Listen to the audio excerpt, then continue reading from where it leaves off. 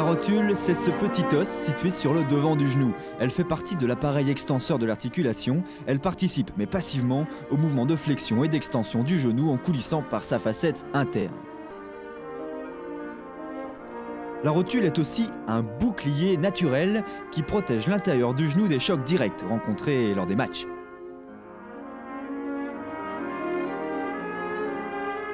La rotule joue enfin un rôle dans la course et pour les frappes de balles.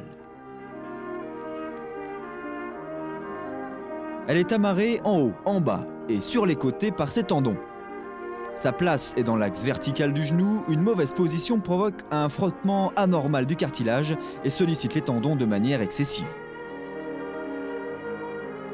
Lorsque cela se produit, le joueur doit se reposer et subir un traitement anti-inflammatoire, puis une rééducation. Tout cela pour replacer la rotule dans son axe. Les diverses lésions possibles. Les tendinites, les calcifications et les usures accélérées du cartilage. C'est la radiographie qui peut dépister ces anomalies. Le traitement sera adapté, bien sûr, à la poursuite du football.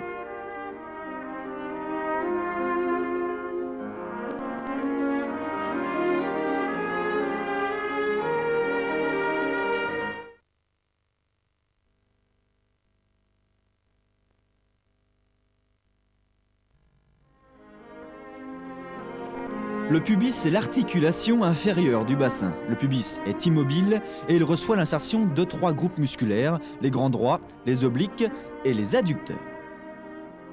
Tous ces muscles exercent des tractions sur le pubis de façon équilibrée. Les footballeurs ont les grands droits et les adducteurs particulièrement développés, les obliques sont plus faibles. L'intensité des gestes du football, et notamment les frappes de balles, les tacles et le jeu de tête, accentue ces déséquilibres.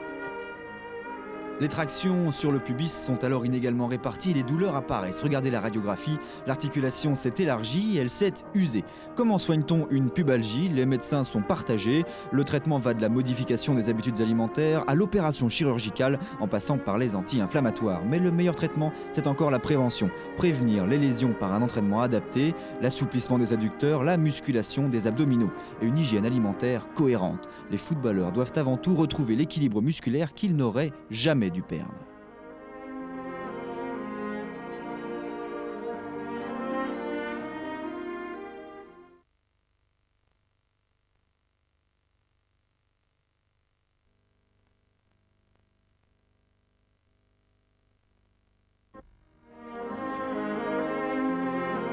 Les adducteurs sont logés dans la partie interne de la cuisse. Ils sont composés de trois groupes de profondeurs différentes.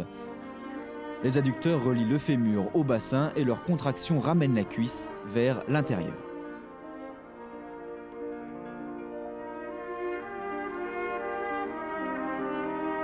Les gestes du football développent les adducteurs. Les passes de l'intérieur du pied, les frappes de volée, les tacles aussi, tout cela sollicite ces muscles. On le voit, lors des matchs, les adducteurs sont souvent étirés. Il faut donc prendre des précautions et rester attentif, que ce soit à l'entraînement ou lors de l'échauffement. Car la maladie du footballeur est bien connue, c'est la tendinite des adducteurs. Cette lésion est liée au surmenage, mais aussi à une mauvaise préparation ou à une alimentation inadaptée. La tendinite, c'est d'abord une douleur chronique qui part de l'aine et qui irradie toute la cuisse. Le joueur doit alors se reposer et subir un traitement anti-inflammatoire. Le corps des muscles peut aussi être touché. Ce sont les élongations et les claquages. Les adducteurs sont donc des muscles primordiaux qu'il faut ménager et traiter avec soin, car sinon un autre danger guette, la pubalgie, et là ça peut être beaucoup plus grave.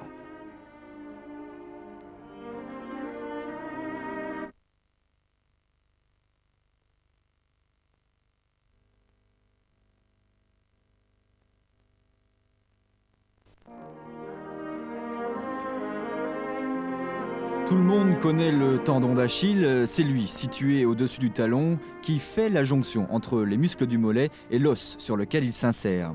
Il doit transmettre la force musculaire des extenseurs du pied. Le tendon d'Achille est comme une corde, il s'étire lorsque la jambe se fléchit sur le pied. Lors d'un match, c'est sur les démarrages et sur les réceptions après les sauts qu'il est le plus sollicité.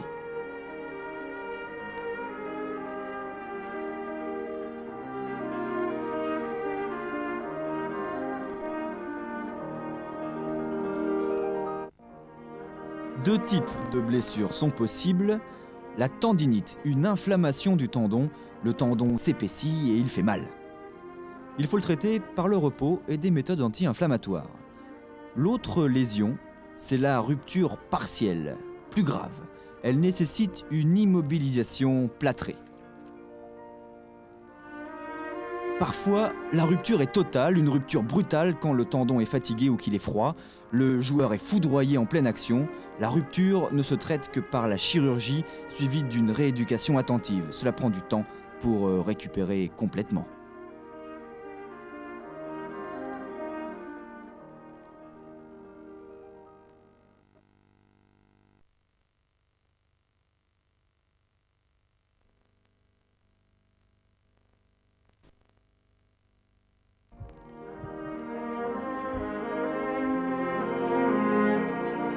Les ligaments latéraux, internes et externes, ils assurent la stabilité du genou. Ils sont détendus pendant la flexion, mais fortement tendus lors de l'extension.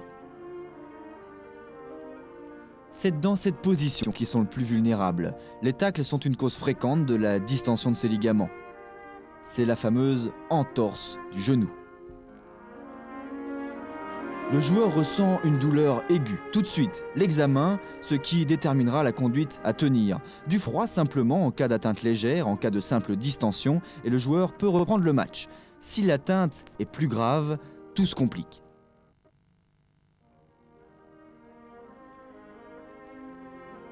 Les radiographies montrent l'importance de l'écartement des surfaces osseuses et vérifient l'absence de fractures. L'entorse bénigne se traite par du repos et des soins anti-inflammatoires.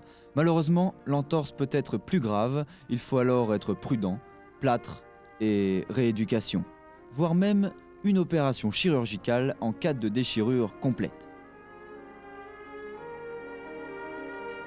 Le but est d'éviter les séquelles douloureuses et d'assurer une nouvelle stabilité au genou. C'est important pour reprendre le football et préparer le genou à toutes ces sollicitations.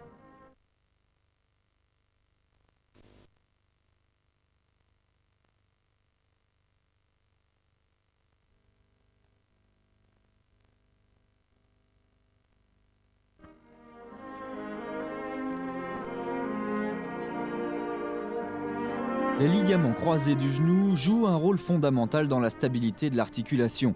Le ligament antérieur et le ligament postérieur, par leur croisement intra-articulaire, limitent les glissements de la jambe vers l'avant et les rotations anormales de l'articulation.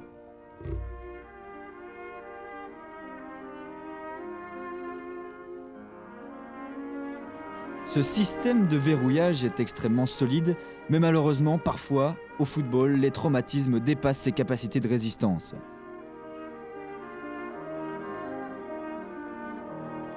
La frappe de balle dans l'axe ne présente aucun danger. En revanche, une mauvaise réception, une frappe qui dévisse ou un choc violent sur l'articulation peuvent provoquer la rupture d'un de ces ligaments. Cette structure est puissante et les ligaments sont difficiles d'accès, on l'a vu, l'acte chirurgical est donc complexe. La rééducation post-opératoire est ici fondamentale, elle renforce l'articulation, mais cela ne se fait pas en un jour, parfois six mois sont nécessaires. Les joueurs victimes de lésions au genou doivent rester prudents, ne pas hésiter à quitter le terrain dès la moindre alerte.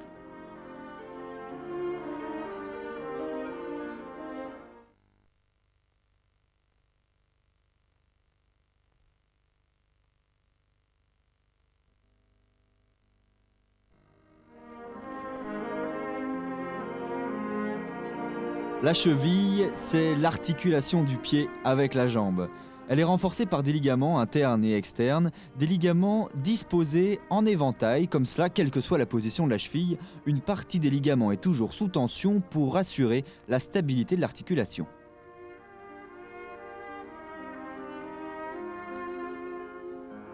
Le pied peut donc évoluer dans plusieurs directions et peut répondre ainsi à chaque sollicitation du footballeur. Attention quand même, les agressions reçues lors des matchs font subir à la cheville des torsions importantes qui peuvent aller jusqu'à l'entorse.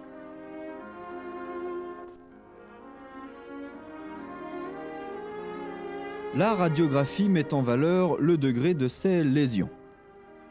Cela va de la simple distension du ligament, une distension qui se traite par le repos et les anti-inflammatoires, donc pas de complications majeures. Mais cela peut aller jusqu'à l'arrachement ligamentaire avec écartement des surfaces osseuses et là, le traitement est chirurgical. Le footballeur connaît bien les entorses, il protège ses chevilles par des strappings.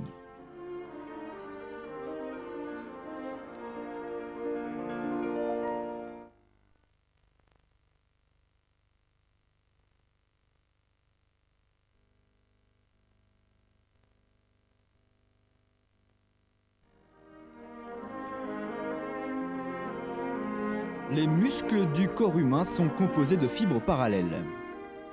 Toutes ces fibres, celles des muscles inférieurs surtout, sont très sollicitées par les gestes du football.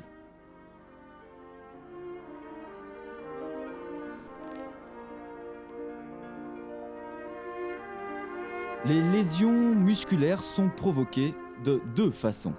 Un étirement excessif du muscle, les élongations, les claquages ou les déchirures, ou un écrasement inattendu en pleine action, c'est la fameuse béquille.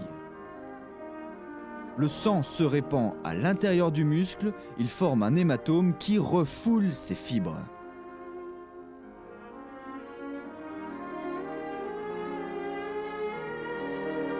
L'échographie visualise la lésion et en détermine l'importance.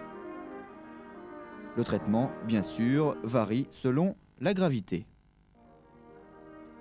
Repos et anti-inflammatoire suivi d'une rééducation soigneuse pour éviter les claquages à répétition. Mais pour préparer le muscle aux sollicitations du match, mieux vaut bien s'échauffer. Un échauffement systématique à base d'étirements et de sprint fractionnés, l'échauffement avant le match et la récupération après le match.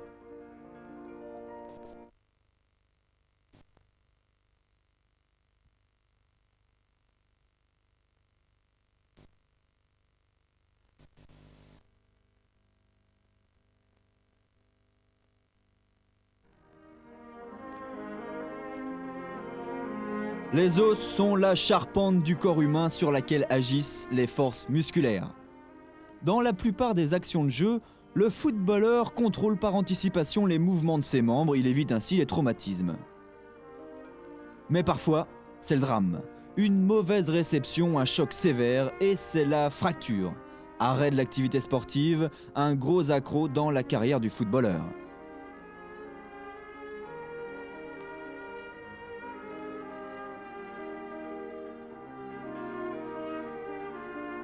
Les radiographies montrent le caractère des fractures. Le traitement doit rétablir la continuité osseuse.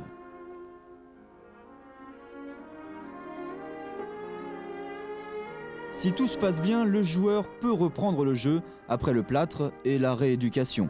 Les protèges tibias sont là comme rempart contre les chocs directs. Le pied, lui, peut subir des écrasements importants. Les radios révèlent parfois la fracture d'un orteil, un traitement local anti-inflammatoire et une protection adaptée. Le joueur peut alors tenir sa place dans le jeu.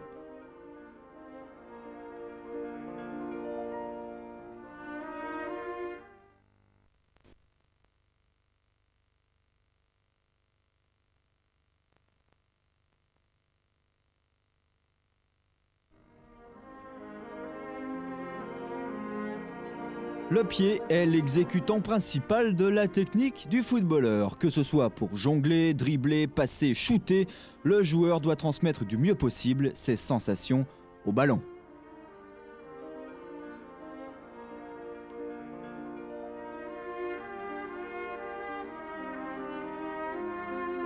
Articulé à la jambe par la cheville, le pied dispose d'une liberté de mouvement limitée verticalement et horizontalement il est en contact avec le sol par la voûte plantaire et les orteils. Le rôle de la chaussure est donc fondamental. Munie de crampons, elle doit s'adapter au relief du pied. L'emplacement de ces crampons est spécialement étudié et leur taille choisie selon la nature du terrain. Les chaussures standards intègrent mal les déformations du pied, d'où des frottements répétés. Les anomalies du pied, comme les pieds creux ou les pieds plats, doivent être compensées par des semelles et des éléments placés à l'intérieur de la chaussure. Les autres lésions sont dues au choc subi par le joueur lors du jeu. Les écrasements par croche-pied sont particulièrement douloureux et peuvent entraîner des fractures. Les radiographies sont ici utiles pour diagnostiquer ces anomalies et permettent une prise en charge efficace. Le joueur pourra alors à nouveau utiliser ses outils préférés.